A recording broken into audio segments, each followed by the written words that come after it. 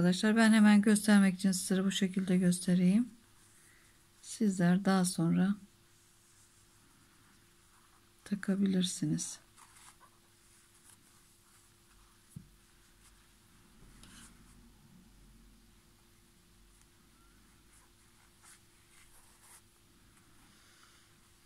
aralıklı olarak geçirerek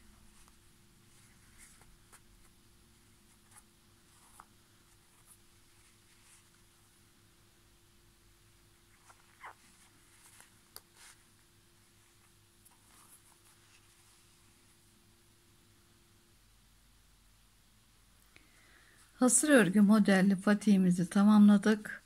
İstediğiniz modeli de aralarda uygulayabilirsiniz. İpimizde ister sade bir şekilde isterseniz e, pompon yaparak kullanabilirsiniz.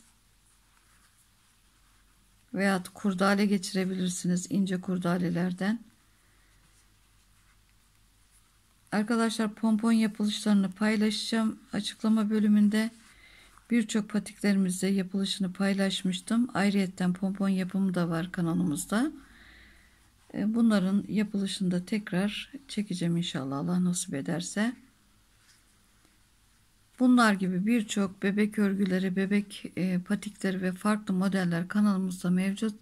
Sizler de ziyaret ederseniz memnun olurum. Değerli yorumlarınız için çok teşekkür ediyorum arkadaşlar. Başka videolarımızda görüşmek üzere. Allah'a emanet olunuz. Sağlıklı mutlu kalınız. Videolarımızı izleyerek beğeni, yorum